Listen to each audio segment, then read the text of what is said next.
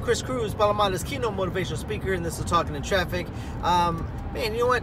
I was just thinking to myself, I never used to like to use my whole last name, Palomarez. You know, I mean, I used, I used to say Chris Cruz, because uh, Cruz is freaking cool. It's a, it's a cool middle name.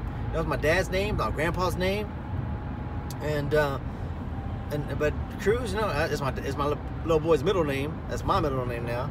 But uh, I'm like Cruz is, is uh, super cool. But man, if you Google Chris Cruz, you'll find a, you find a couple.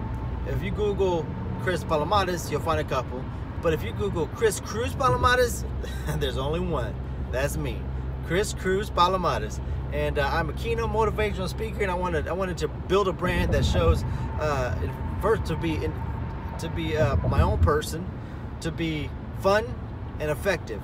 And uh, I hope that's what all my videos bring is just to be effective. And uh, if you haven't followed me on social media, please do so. I'm on uh, all social media, um, Chris Cruz Palomarez.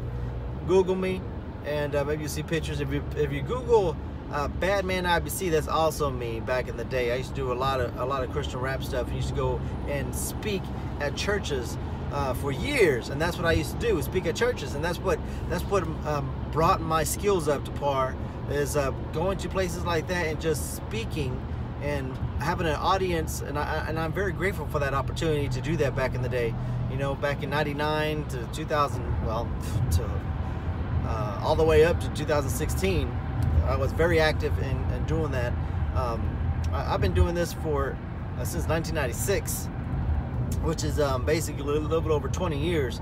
And so uh, doing public speaking for 20 years you've learned uh, that you're basically a one-man one-man uh, show truthfully. You know, I mean, I have to get people's attention.